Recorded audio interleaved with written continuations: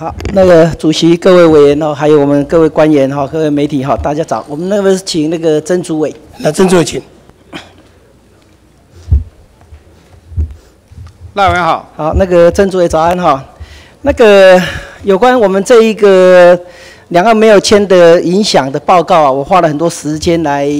啊拜读过了哈。那我想就可能时间没有办法全部都请益，但是我想能够请益多少算多少了哈。第一个，我们就是从这个胡茂协议未通过之影响哦。第一个，你写的是保险业方面了哈。我想请问一下哈，这里面我们讲讲说这个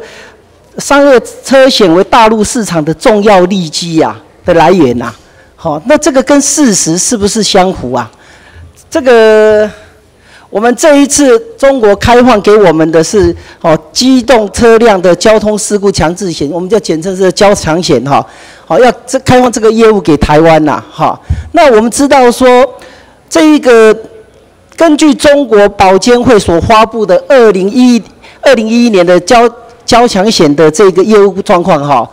他们从二零零六年七月开办以后，除了之后哦二零零六到二零零八有小幅赚的人民币六点九亿以外，随着以后是亏损不断的扩大。好，二零零九年二零它的人民币分别亏损是二十九亿，二零一零年它亏损是七十二亿，二零一一年是亏损九十二亿，二零一二年是亏损五十四亿。中国来讲，他们这个交强险的业务来讲，他们是亏损是逐年的扩大，而且已经变成是他们那边的产险公司是一个烫手山芋啊，好，大家都想要甩都甩不掉啊。那我们现在来讲，哦，我们台湾抢着去给他要接这个这个交强险的话，我们凭什么说他们是一个亏损连连的产业？我们去我们就会赚钱？请回应。跟委员报告，其实这个是强制险。那我现在想，我委员假设有开车就知道，你除了买强制汽车责任险以外，你还会买任意的强的汽车险。不是啊所以，那这些这些搭配的。他们中国的保险公司都不知道吗？只有我们去，我们才会知道这个窍门吗？当然都知道。那所以对啊，为什说，么为什么他们做的是已经亏损连连？我们台湾去的话，我们就认为说我们会会转亏为盈呢？呃，跟委员报告我们的，利基在哪里？我们的我们的优势在哪里？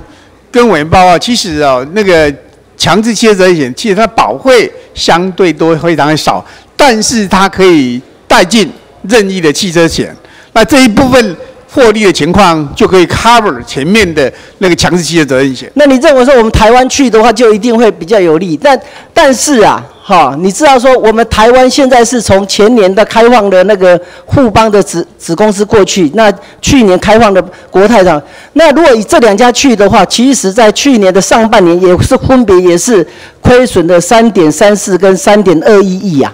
好，那这个的话，代表我们台湾去也并不是说像我们现在所想的这么乐观。我们台湾去的话，人家是一个亏损产业，我们台湾去，我们就会变赚钱的产业。跟委员报告，保险公司啊，尤其是假设涉险的话，因为它呃前几年都会有亏损的情况，这是正常的。这个中国，它二零零六年到现在也不是前，也不因为它是产业的特性啦。哎，这个我我在想说，像这样子来讲哈，我们说以这一个，因为数字会说话啦。是啊，这个中国来讲，我们哦不应该是只是为了要开放而开放。事实上，有很多这些数字来讲，它没有政治意识，它没有来，我们就是就数字来做一个做一个观察。其实这一个我们知道说，中国来讲这种。哦，强制险这些保险的话，当地人都经营不好，我们台湾去的会比他们更有优势，这点是真的很让人家存疑啊、跟委员报告，就产险跟寿险来讲，台湾地区的水准跟产品的精算的水准，基本上比大陆相对比较进步。那我要特别提到了，虽然它开的是强制汽车责任险，但是呃，在实务上，你除了保你的强制汽车责任险之外，更大金额保带进来的是任意汽车责任险。嗯这个我个人是认为说这是有点乐观啦。这个我们我们认为说我们很厉害，我们精算的比他们更精准。但是有的时候就是因为他们不是很精准，他们中国人来讲很容易是说制造各种的走偏锋、走偏门啊的这个情形之下，啊，我们知道有很多很多人来讲，你说我们很厉害，我们都是按规矩去，到那不规矩的地方，我们的规矩是不是真的有效？这一点的话。这是不是说我们的评估是不是有点有点过度乐观？呃，不会，就因为基本上跟委员报告，呃，因为这一次保险部分，因为几乎他们几乎我们都没有放，啊，所以说他们相对了放的幅度相对比较小。我们怎么没有放？我们保险哪有放？我保险们那。个我们福茂协议，我们征集到他们的这些强交险给我们，那我们福茂协议，我们只有征集到什么？他们给我们的是加速审查，然后我们台湾来讲，我们可以我们的保险公司可以开放台湾来我们这边入股，怎么没有放？没有，对不对？没有开放。这个他们是可以来我们这边的话，哦，可以台湾现在开放中国保险公司来台投资台湾的保险公司，上市公司的上限是百分之十啊，非上市公司是百分之十。福茂里面没有，福茂没有，没有开放。好，没关系，这个因为时间的关系，我好多问题要要请教你啊。好，这个我想如果问不到的，我可以再改书面的继续来请益哈。好谢谢。那再接着的话，我们来看一下说哦，刚才第一项是保险，那第二项你写的是银行业务方面呐、好，那我想我们银行业务里面你写的第二项里面，我我哥在银行设立的是可以设哦，这个在设乡村镇级的银行部分具有什么设立资本要求门槛不高的这个优点啊？那我要想请问一下，这个我们去那边投资要它乡镇级的银行，最主要的诉求目标是它的资设立资本门槛不高。那其实我们台湾一天到晚喊着喊着说银行要合并，我们要创造经济规模，那我们台湾在喊喊什么？喊假的啊！我们既然要去边竞争的目的只是说它的资本门槛不高，这那跟我们台湾我们要要讲这个论述有什么？不是刚好是背道而驰吗？跟委员报报这个不同的策略，我举个例子跟你报告，比如说 HSBC 够大吧？嗯，它在中国大陆照样设很多的呃这个乡村银乡村镇银行啊，不同的策略针对不同的市场有不同的策略。这个不是、啊，这个是银行的策略。今天我如果说是我们应应我们的银行工会理事长或者他跟我讲这些，我都可以接受。哦，这个是银行他们经营有他们的策略，但是站在我们金管会是订定一个政策的部分。哦，光只有讲说策略的话，我想这个应该来讲，你要考虑到的是说这整个的的论述的理论来讲，我们在台湾一禁止要讲经济规模效益，那我们去那边反而是要去抢的那个资进入门槛不高的这个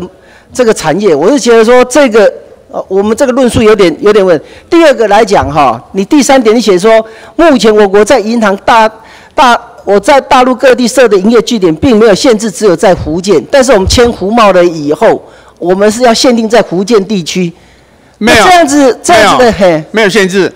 因为在福建是可以同省异地支行，别的地方没这个优惠。上海可以设啊，每个地方照样可以设啊。不是，那那我们整个这跟他签胡茂来讲，我们是整个国家跟他在那个谈判的时候，那我们所争取的只是个区域性，只是个福建省。那这样子，我们有没有被地方化、被矮化的这个顾虑啊？不会啊，被地方也上海或者去中国大陆，你都可以设分行，也都可以设子行，只是他特别开放福建给台湾。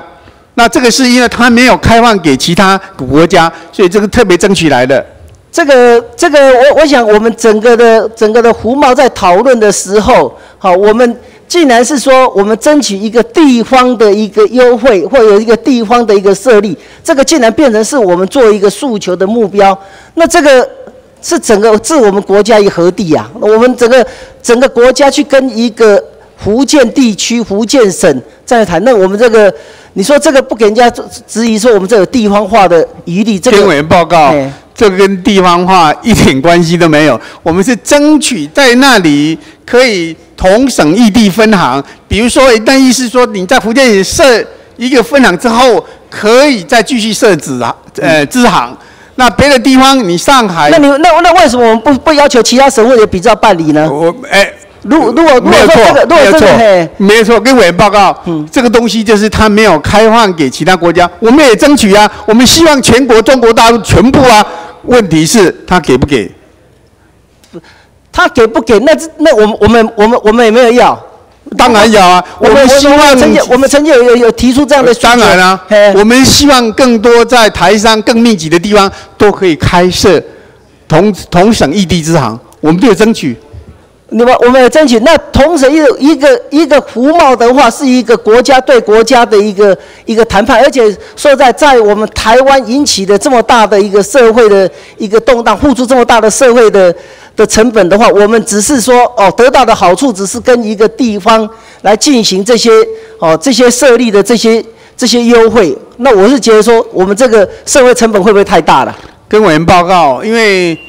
服贸协议是透过协商的。那我们没没关系，金管会能够争取的部分都尽量来争取。因为因为这个里里面整整篇我是拜读了很多，最后啊还有一个说，我们是说那个主席再给我三十秒，我问一下，好，我们是说陆方承诺说我们进行两岸的话，股权可以，好可以合作的部分呐，嗯，刚才主委在讲说没有没有开放这个投资，我们这个第三点就有讲到，好以后是可以股权投资合作的部分呐。好，这个就已经有讲到说，你们这个以后，我们他我们要，他们也可以投资我们，我们要投资他们。好，那我想说，因为还有很多时间的问题哈，我想我以后我会继续有再跟，好，我们那个曾主委请益，谢谢。谢谢。好，谢谢赖委员的咨询，下一位请李委员咨询，之后我们就休息啊。